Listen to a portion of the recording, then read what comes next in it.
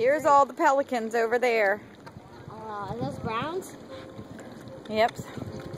Oh, those seagulls are ruthless, man. You're right, Kaylee. I don't see very many uh, big jacks down here. Yeah. Not, not that much at all. I just see the pelicans. But down over here, you got some fish. You can get some parrotfish. Yeah, let's go for the parrotfish. Wait, we're Woo! gonna do a couple at a time. all right, go ahead. Like, I want to see a big episode. Okay, go ahead.